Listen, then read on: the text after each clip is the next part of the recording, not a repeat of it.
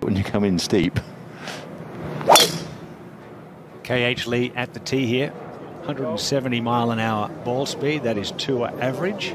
If he nicks it, it won't reach that. So there's plenty of room. That's the way to do it. You bust it. Yeah, that was high, just that baby cut. Beautiful.